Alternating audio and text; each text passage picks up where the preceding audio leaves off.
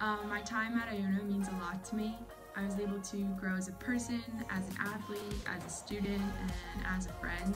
Uh, I was able to meet incredible people um, and just form great friendships that I'll cherish forever. Um, I would tell my freshman self that you're going to transfer your sophomore year to Iona College and you're going to meet your best friends there and just have a great experience.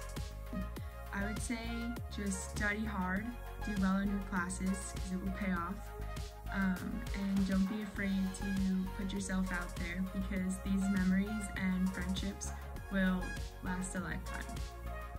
Um, I'd have to say my favorite memory by far is going to Disney and winning the MAAC championship with all my best friends. Um, something that I'll never forget and I'm truly grateful for.